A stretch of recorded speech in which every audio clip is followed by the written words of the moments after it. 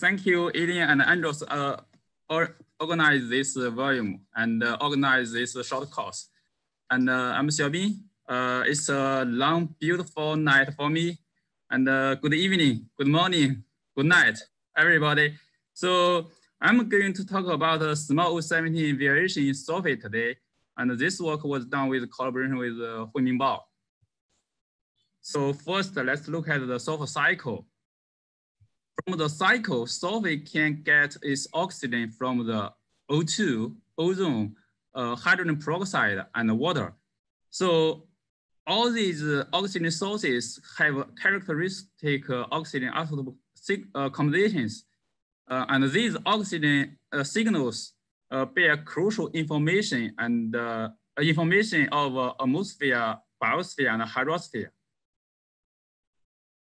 So for example, large negative O17 anomaly in sulfate uh, have been used to infer high PCO2 uh, after snowball Earth. And uh, low bioproductivity, low bioproductivity uh, at 1.4 billion years ago. So, uh, however, oh, so sorry.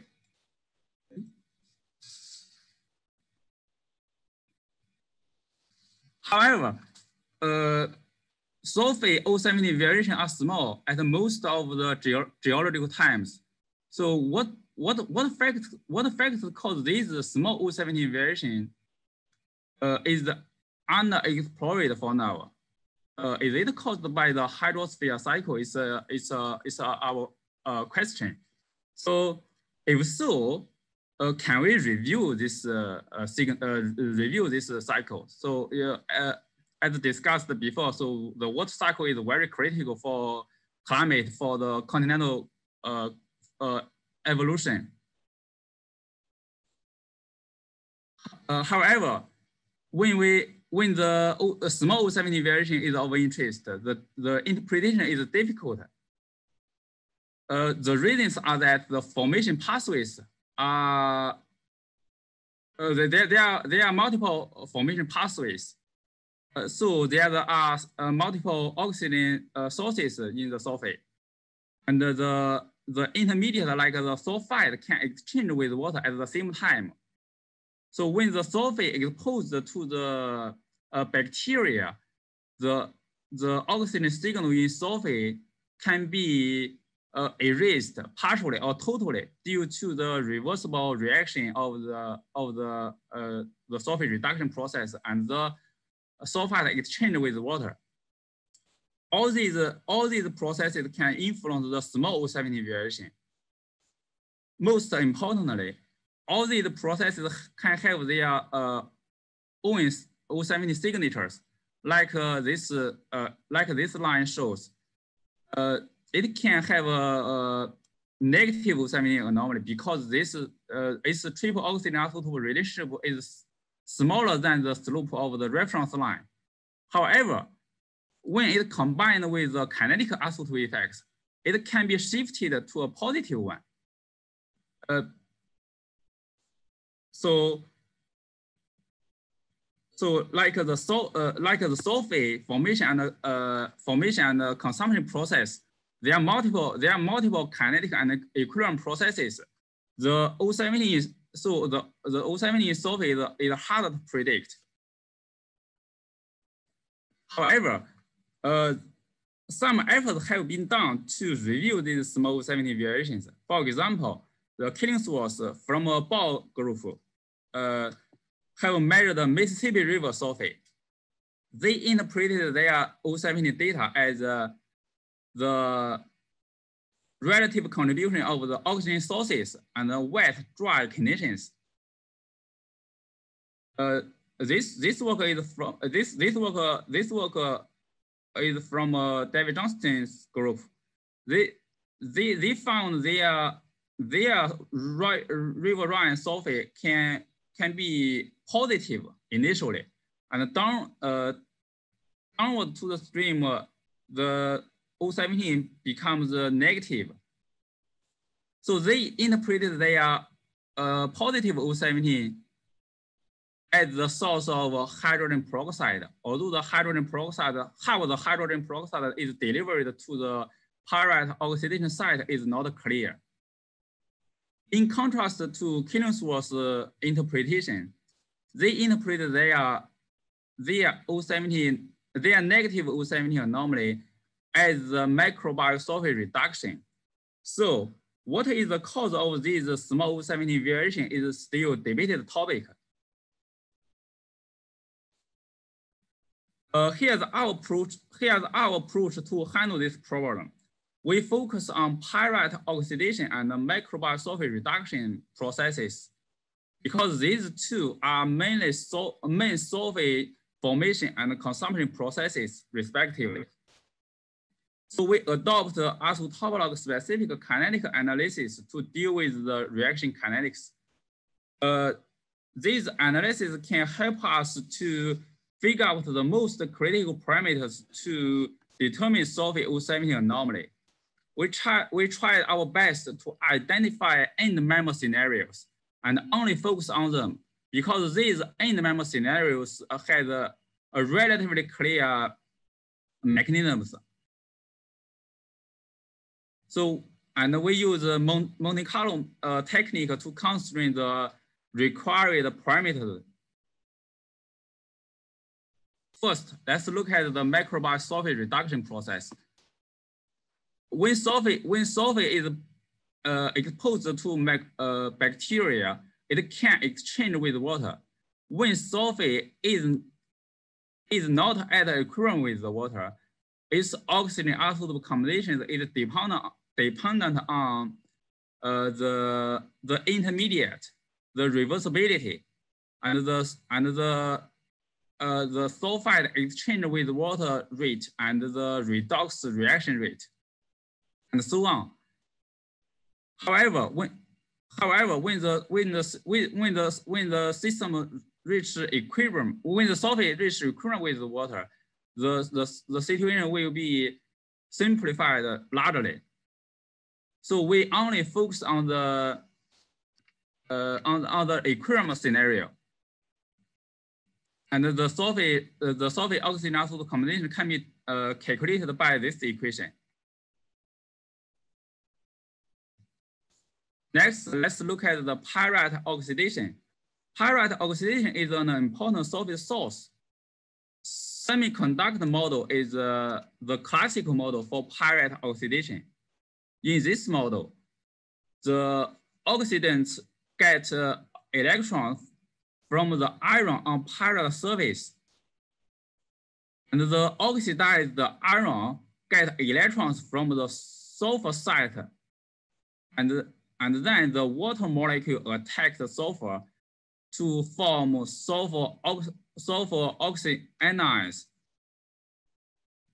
In low pH, uh, in low pH conditions, the the oxidation process can be uh, can be uh, can uh, the the can be oxi uh, the no I'm sorry uh, in low in low pH conditions the the oxidation process can go down to sulfate uh, directly.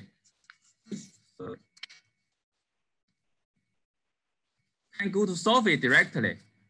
Uh, in this way, the oxygen in sulfate is excluded is exclude, exclusively from the water. Now we identify this scenario as an end member, and the oxygen isotope combination can be calculated by this equation.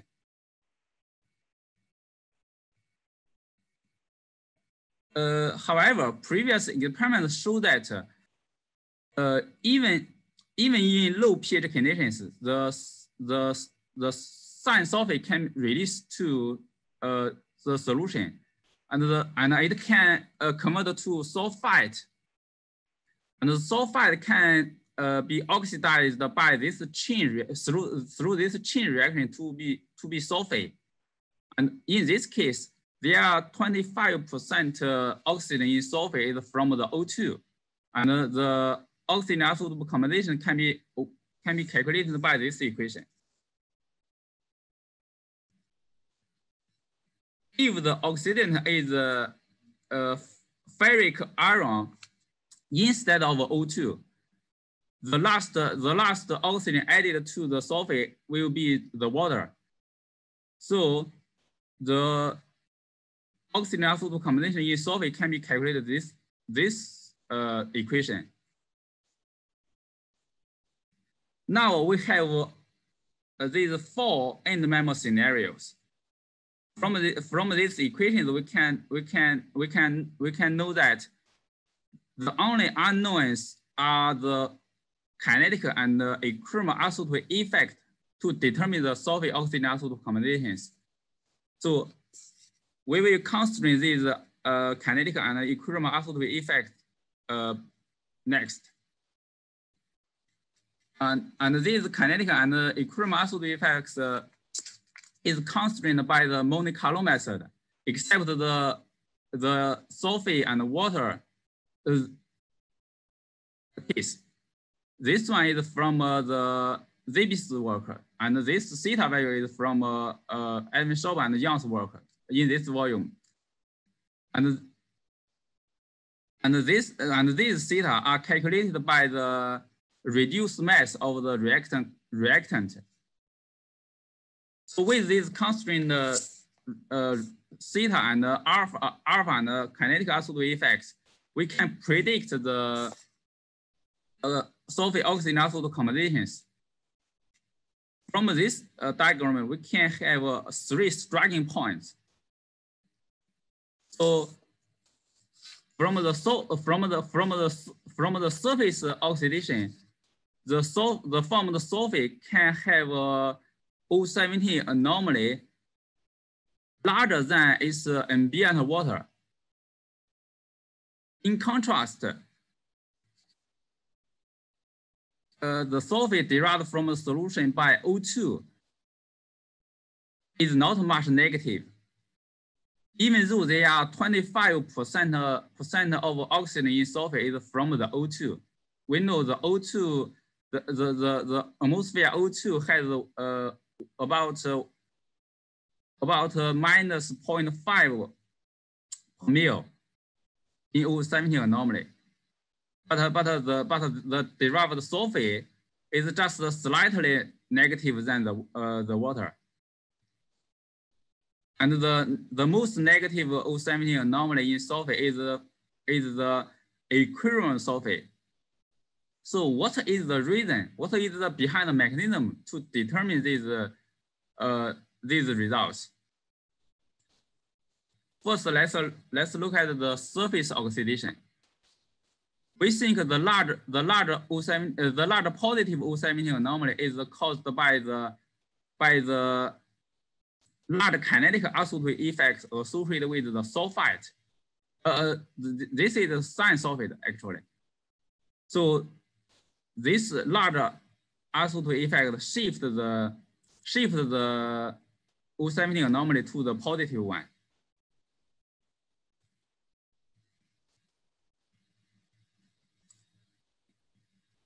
while the while the the the in this case the the larger the larger O17 anomaly in, in O2 is is reduced by the large kinetic isotope effects associated with O2.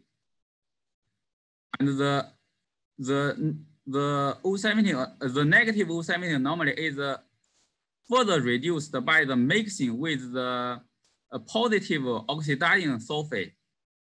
So this makes the O17 anomaly in the derived sulfate is just is just uh, uh, slightly negative than the water. When the oxidant is uh, ferric iron, this uh, our determine our determine the kinetic isotope effect associated with the sulfide is small for this case.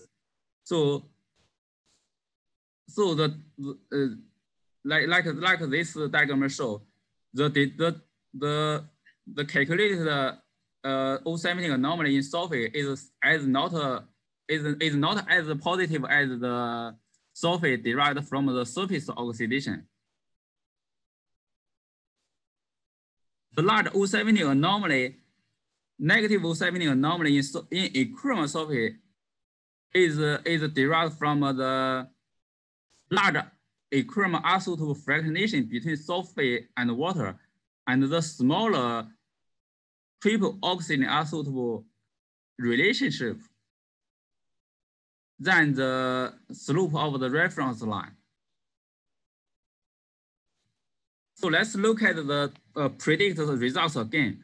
I would emphasize that the combination of equilibrium and kinetic isotope effect can generate observable small O17 variations. And these variations can be used to extract useful hydrosphere, atmosphere, and biosphere information. Uh, now let's look at the what kind of information can, can we get from these O17, uh, these O17 anomaly measurements? East Lake at Antarctic is a, a meromictic lake. It is oxic in the upper layer. It is anoxic in the lower layer.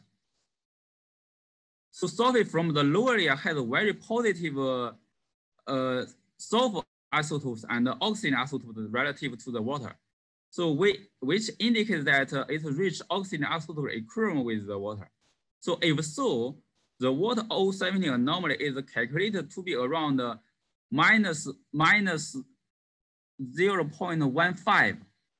So this negative O17 anomaly in water indicates that it is a high extensively evaporated this specific case shows that the sulfate is a, a potent proxy for hydrological cycle. So this one is uh, about uh, riverine sulfate from uh, uh, David Johnston group. Our results indicate that sulfate derived from uh, pyrite surface oxidation can produce observed positive O17 anomaly. And the hydrogen peroxide may be not necessary. Of course, why pyrite oxidation going, going through this way in this, in this area is not clear. The negative O17 shift do indicate that there is an active microbial sulfate reduction.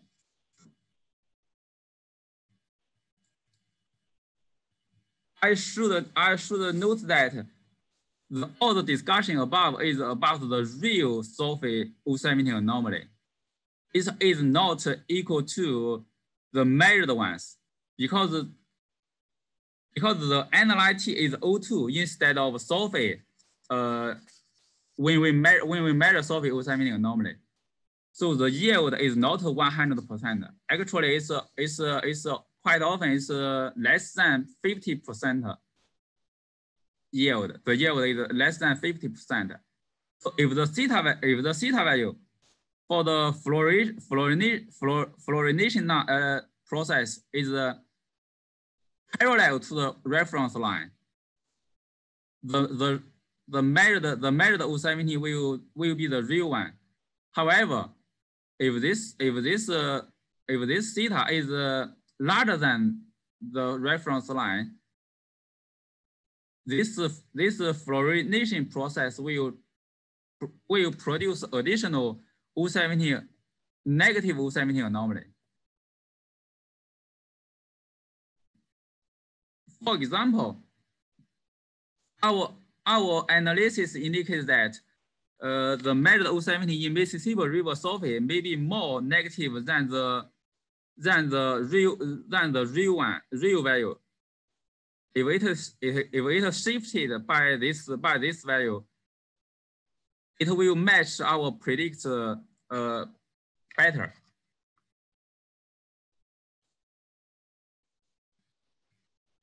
And here I want to say all these all these uh, constraint values are only for low pH conditions and they are constrained by Monte Carlo results, uh, Monte Carlo method.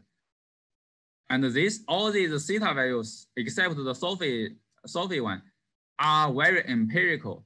So when these, when these values are determined to be different from uh, the current results, our predictions may be different.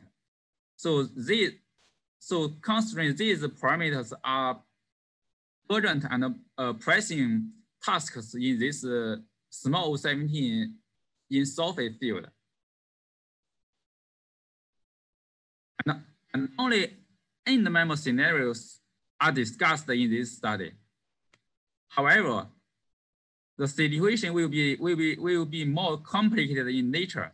This, these situations may be the competition among different pyrite oxidation pathway and non 100% uh, reversibility of the microbial sulfate reduction or the competition between the, the oxidation rate and the exchange rate. Uh, for example, Kohl and Bao's uh, work show that at high at, at, at pH 9, the, the, the oxidation rate is higher than the sulfite water exchange rate initially and and and and slower and slower than the exchange rate later.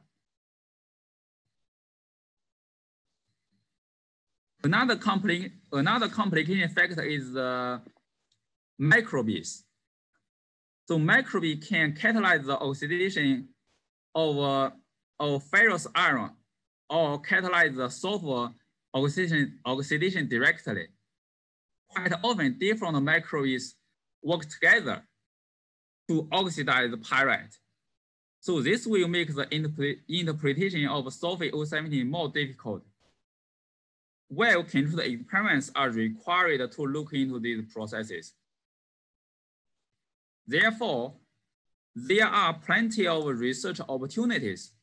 Here are some we think the most pressing ones, uh, such as calibrating the small 17 variation, uh, small 17 measurements, calibrating intrinsic triple oxygen isotope effects, calibrating reaction rate constant, uh, sorting out reaction pathways, and knowing the role of microbes.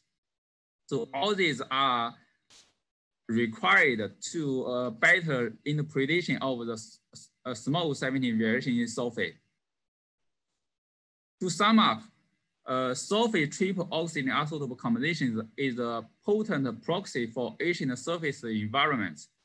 When the small 17 anomaly is of interest, reaction mechanisms are crucial to interpret the data. There are ample re research opportunities along this line. So this work is just a framework for, for the interpretation. Uh, more work are required to, to refine this, uh, refine the framework. Thank you.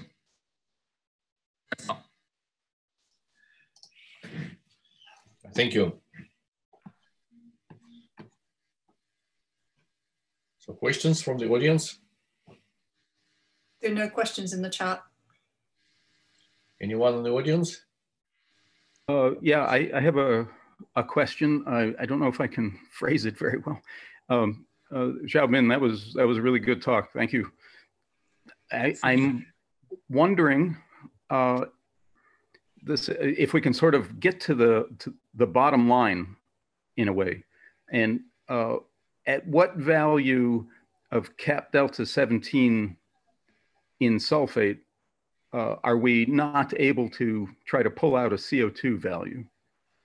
So, you know, I mean, that's what Huiming Bao and, and I think you were on the paper as well, and, and me uh, were doing in the, you know, way back when uh, for the Marinoan. And, and I, I remember, you know, you were talking about those small cap. Del- yeah, exactly. You were talking about the small cap deltas, and and I was always so tempted to to think, well, can we use this for something? and you know, it's exactly what you're talking about.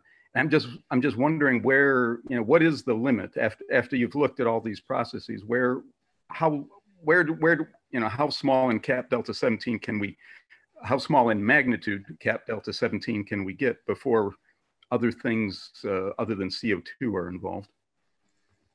Uh, according to our present results, the the 17 range like uh, from uh, positive uh, 0.15 to negative uh, 0.1.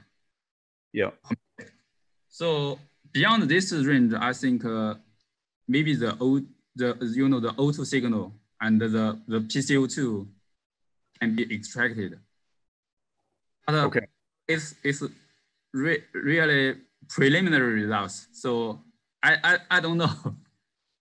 Okay. All right. Well, yeah, it's really, really good stuff though. Thank you. Okay, thank you. Other questions for Xiaobin?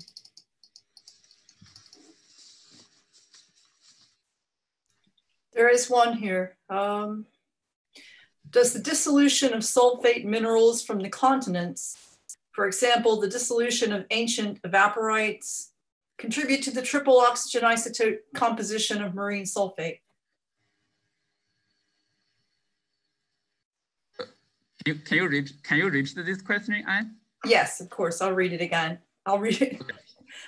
Does the dissolution of sulfate minerals from the continents, for example, the dissolution of ancient evaporites, contribute to the triple oxygen isotope composition of marine sulfate? Okay, so uh, actually there, yeah, there, there's contribution from the uh, Asian evaporite. Uh, uh, David Johnston group measured the measured the the one uh, evaporite. It's uh, their their O17 is about uh, minus minus point zero five, I think my, my, uh, zero six, something like that.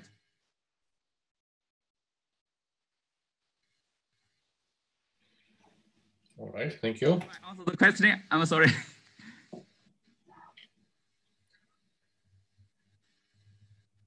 So um, no comments on the last talk?